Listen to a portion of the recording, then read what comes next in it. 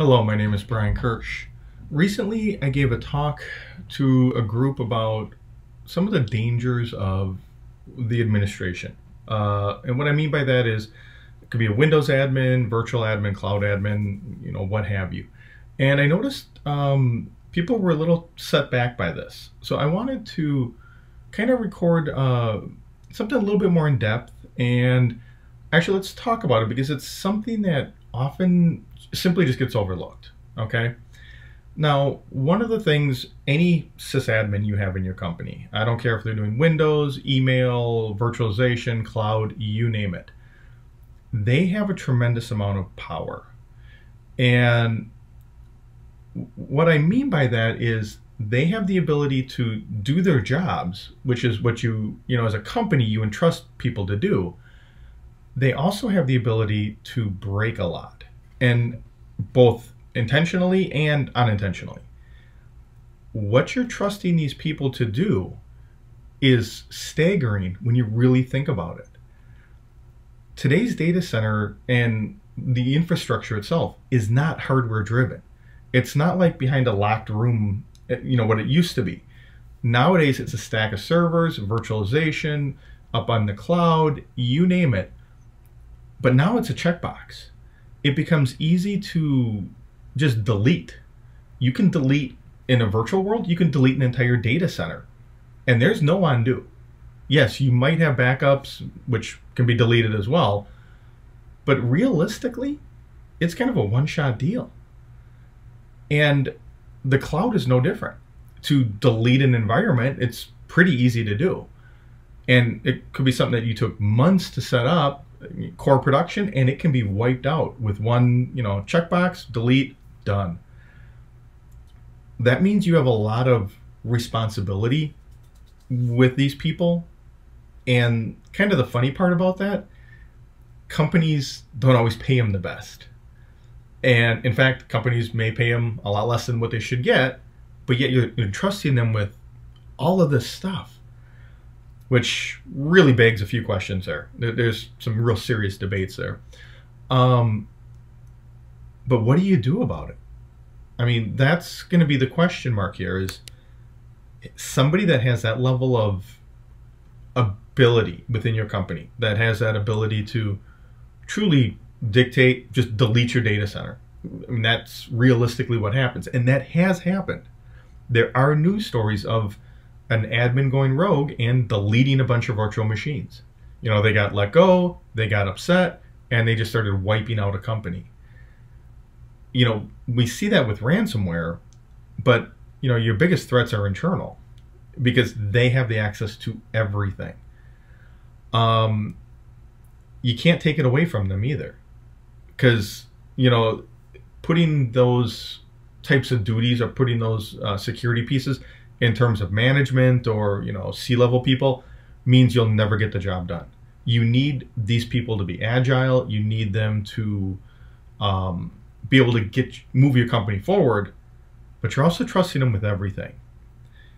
And like I said, this is the dirty part of this that nobody talks about.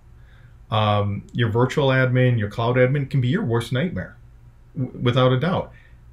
And if it's the people you you know you don't pay enough or deny the promotions, what have you, you're running a risk. And that's just a fact. Um, that doesn't mean executives should go pay people a lot more money. That doesn't mean virtual admins or cloud admin, admin should go demanding a bunch of money. But you have to understand the risks. You have to understand what you're entrusting these people to do and what you're willing to give them to do that.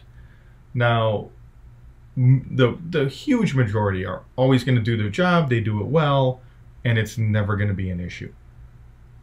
But you have to accept the fact that there will be one or two that won't. That'll that'll be an issue. And if you know it sounds great that you know everybody you know somebody else's problem but it's not. It could easily be your problem. Um, removal of you know like virtual machines cloud environments uh, removal of hardware you know, um, you know, an IT admin taking, you know, different hardware home, you know, what have you. That stuff occurs. And it's a really fine line between, you know, let's say, oh, I have an extra SSD drive. The company won't miss it. Versus I just deleted an entire cloud environment because I was upset about something. There is a line there, but it, it progresses really quick. And that's a problem. Now, what does this really mean? Where, where's the impact? What you know? What can you do? Auditing tools are great. Um, they will alert you to suspicious behavior. And to be honest, everybody should be audited. I don't care if you're the admin, the CEO, what have you. Everything should be audited. Nobody should be excluded from that because the moment you do that, you run into the potential for problems. Um, you can put in certain safeguards. Admins, you know, log in with normal credentials unless they do admin duties and things like that. But realistically, the biggest thing you're going to have to really address is making sure you're taking care of them. Majority of people are not malicious by nature. You know, when you hire them, they want to do good work and, and all those things. But people get frustrated. And they get frustrated because you, you ask the world of them and, you know, they don't always get the paycheck and people get frustrated. I mean, majority of people just simply quit and go somewhere else. But some get you know that itch that piece where they you know kind of want to screw the company over. You have to understand that can happen. You have to be willing to pay these people a fair wage. Okay i'm not saying you got to pay them the world but a fair wage make sure they have time away make sure they get their vacation time in that you know it's more than just keeping your employees happy it's keeping them engaged keeping them driven keeping them challenged but also appreciating them. Because here's the thing if your employees truly feel that way, they will bend over backwards to help the company. The moment they feel, I shouldn't say the moment, the when they start to feel like they're being taken advantage of, and if there's a history of it, not just a moment in time, but a history of it, then you start to see that those other possible traits come out. And you need to avoid that. And you should be able to see that. You should be able to see it on the faces of your employees.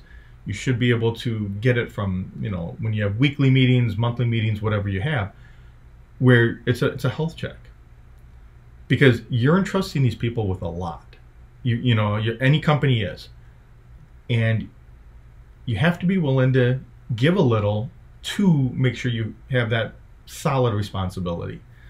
Um, there's not another way around this you can't audit or restrict them where they can't do their jobs because then they fail and your company fails. So you have to entrust them with this, but you got to put a wrapper around it as well. You, you can do it with some with some additional auditing, a few other things, but you got to let them do their job. And then you got to be willing to be engaged with them and make sure they understand, you know, that there is an appreciation and that they're not simply being taken advantage of. So again, my name is Brian Kirsch. Thank you for watching.